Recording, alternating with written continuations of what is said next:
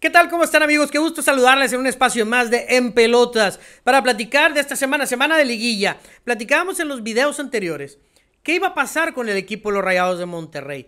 Y vaya sorpresa tan grata que nos dio el equipo de los Rayados al despertar de una manera tan importante y levantar la mano en el partido que era el importante. Era el, era el partido donde necesitabas que todos se conectaran y al final de cuentas así fue. Hay que aplaudir a los Rayados de Monterrey por la manera en que lograron este resultado y si bien es cierto, sí, lo entiendo porque he estado platicando con mucha gente en las redes y dicen, sí, ya consiguieron el pase a la, a la liguilla, este raspandito y lo que tú quieras, pero lo consiguieron.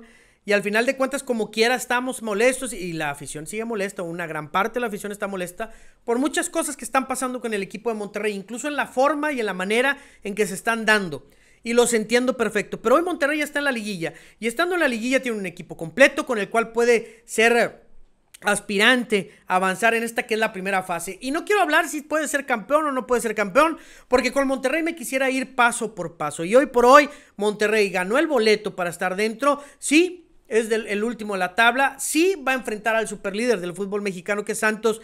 Creo que el que mejor fútbol practicó durante toda la temporada de manera consistente, sobre todo no por momentos y de una manera así este, bien armada. Y eso es una de las cosas que puede ser peligrosas para Monterrey. Pero también creo que el cuadro de los Rayados de Monterrey, sobre todo con la explosividad que se mostró en este último partido, sí entiendo, porque debes estar pensando, era el Atlas, Lacho. Yo sé, mayor temor tenía yo de que no le ganaran al equipo del Veracruz, como no pudieron ganarle, y eso sí era un problema serio. Hoy están dentro de la liguilla y son partidos de vida o muerte. La pregunta por el lado de Monterrey es, ¿tendrá Monterrey la dureza mental? ¿Tendrá Monterrey el hambre que se necesita tener para luchar con todo y contra todo para ganar el título? Nos lo va a tener que demostrar obviamente en esta liguilla del fútbol mexicano. Yo creo que Monterrey es un equipo que tiene el tamaño para avanzar. Sin embargo, le tocó bailar con la más fea, como dicen por ahí, el equipo de Santos, que es un equipo compacto, que juega muy bien al fútbol. Lo único que sí está claro, y se los puedo decir, en Torreón tampoco están tan tranquilos con este tema.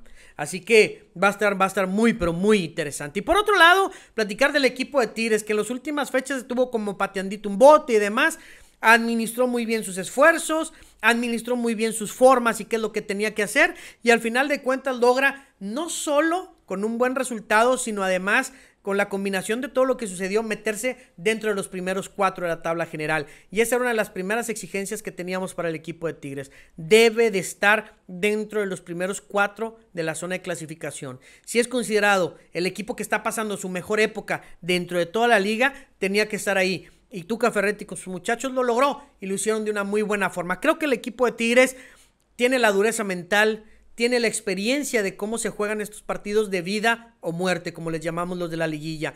En un momento estás y luego no estás. Entonces, por esa experiencia que se ha adquirido en esta última época, enfrentar al equipo de las Águilas del la América no va a ser sencillo. Pero Tigres sigue cargando con el factor de desempate que está obviamente a favor del equipo de Tigres. Uno, la posición en la tabla. Y número dos, la situación de, de lo que pueda hacer en cuanto a la administración de estar en su casa. De tener un estadio lleno, con la gente contenta, sin molestia con el equipo y que le tenga la confianza para poder buscar no solamente un título, sino lograr este tema del bicampeonato que es importante en la historia del equipo de Tigres. Así que los dos equipos están dentro con dos panoramas completamente diferentes, pero creo que los dos tienen gran oportunidad de poder ser protagonistas dentro de esta eh, liguilla del fútbol mexicano, que los dos estarán jugando jueves y domingo, según lo que dispuso la Federación Mexicana de Fútbol para los partidos que enfrentarán Tigres y Rayados, con la diferencia de que Tigres jugará el cierre en su casa en el Estadio Universitario el próximo domingo y los Rayados tendrán que jugar este el cierre de visitante, que por el momento creo que para los Rayados de Monterrey pudiera ser mejor. Hay quienes aseguran que para Rayados es menos presión jugar fuera de casa que en el estadio BBVA, en donde desde hace un tiempo para acá hay molestia manifiesta por parte de muchos de los aficionados y donde cuando las cosas empiezan a no salir bien, hay más presión que impulso para que saque adelante el equipo la situación por la que está pasando. ¿Qué opinas tú? ¿Qué va a pasar? Desde hoy, díganme ustedes, ¿avanza o no avanza Tigres? ¿Avanza o no avanza el equipo de los Rayados de Monterrey?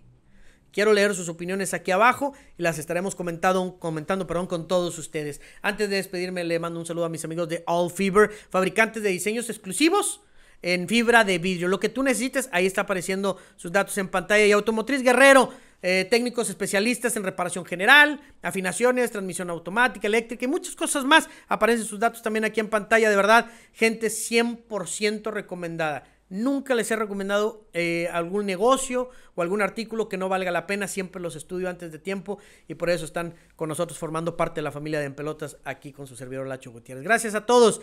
Leo sus opiniones. Estoy al pendiente de todo lo que esté sucediendo. Saludos y compartan este video. Compartan obviamente nuestra página de Facebook, nuestra página o nuestro canal de YouTube para hacer esta comunidad mucho más grande. Que tengan un excelente día.